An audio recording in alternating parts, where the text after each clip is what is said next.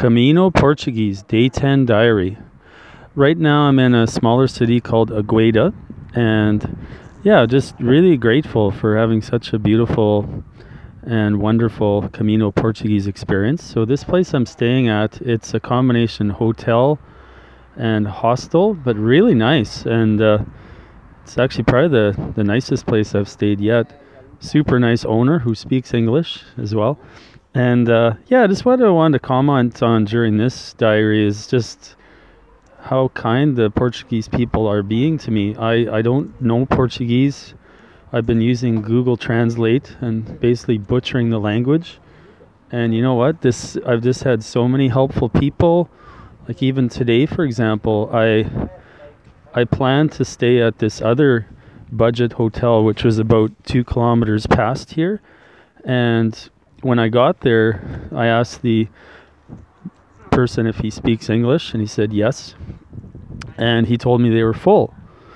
And he suggested this place, and online, this place says it's 65 euros, which is about $100 Canadian. And I was honest with him, and I said, you know what, that's just a little bit too expensive. Like I could pay that, but I prefer not to.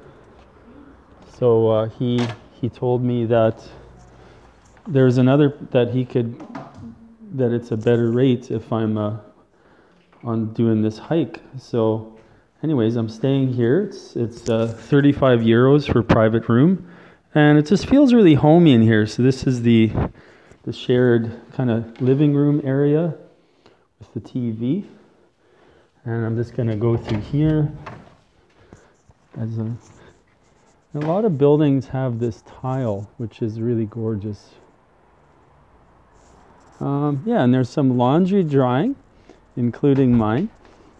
And uh, yeah, as you can tell, it's an ideal spot to dry laundry. So I'll actually have fully dry laundry tonight, which is awesome. That's my uh, that's my stuff there. So again, thanks for following along, and if you're enjoying these videos, um, please consider liking and subscribing.